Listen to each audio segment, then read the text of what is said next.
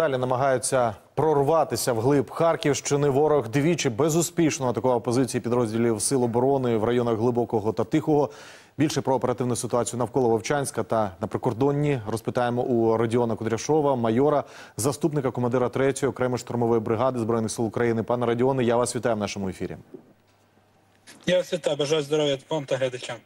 Пане Радіоне, розкажіть, будь ласка, про оперативну ситуацію на вашій ділянці фронту. Яка активність ворога?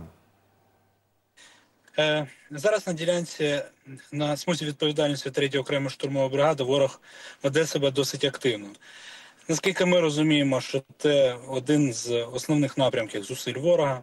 Ворог робить все, скажімо так, е, все, щоб е, якимось чином промити нашу лінію оборони. Ворог успіху нема.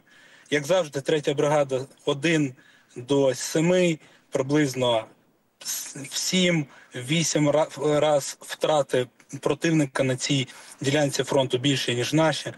Тобто е, працюємо е, важко, але на сьогодні ситуація абсолютно контрольована. Пане Радіоне, вже минув місяць, як окупанти відкрили нову ділянку фронту на Харківщині.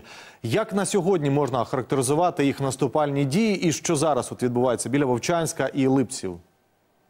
Слухайте, в цілому нічого не змінилося. Противник використовує основні свої переваги. Це велику кількість засобів, боєприпасів до цих засобів, який закидає наш передній край. Ну і велику кількість, скажімо так, безграничну кількість мобілізаційного свого потенціалу, який вони е, реалізують на території нашої країни. Тобто могілізація з їх сторони йде на 100%.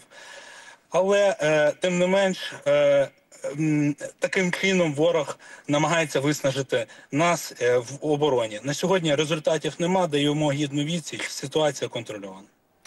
Як ви вважаєте, чи означає це, що наступ е, Російської Федерації вже, вже пройшов свою кульмінацію і власне забуксував? Е, якщо в форматі останнього відрізку часу, саме що відбувалося на харківському напрямку, в цілому я моя суб'єктивна думка, що так.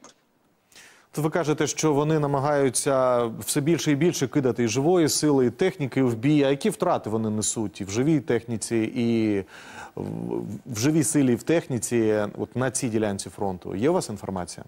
Ну от за час е, е роботи третьої окремої штурмової бригади в нашій смузі відповідальності вдалося.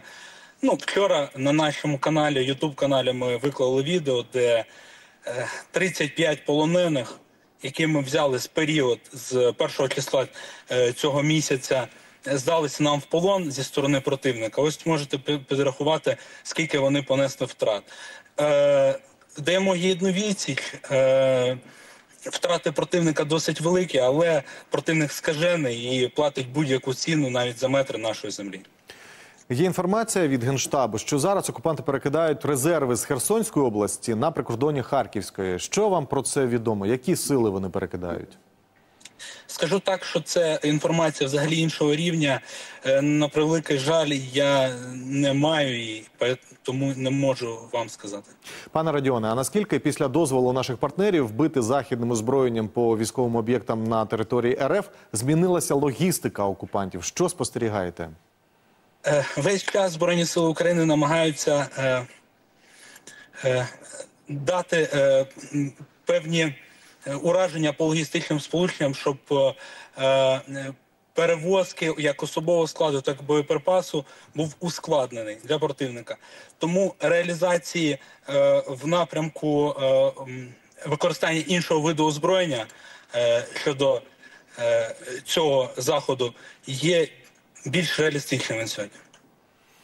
Буквально вчора побачив інформацію, що Держдеп США підтвердив е, зняття заборони для Азова на використання їхньої зброї на фронті.